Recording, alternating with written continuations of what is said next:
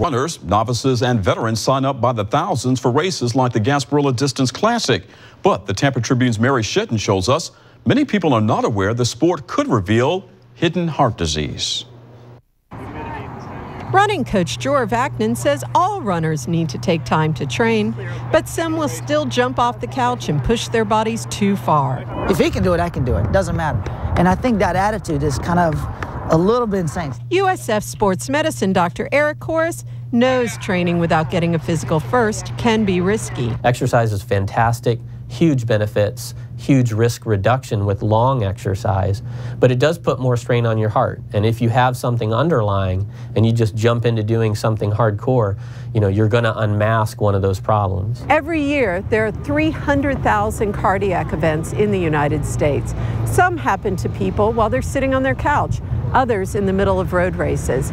Experts say exercise is critical to good health, but it's important you do it the right way. Mary Hall's heart irregularity surfaced without warning during a half marathon last year.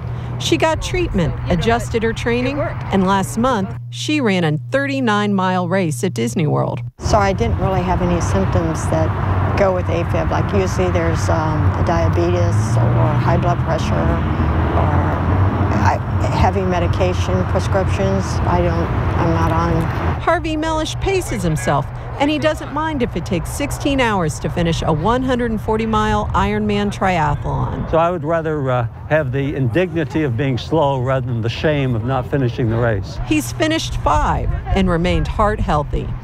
For News Channel 8, I'm Mary Shedden.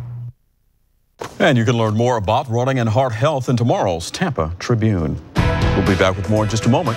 Stay with us.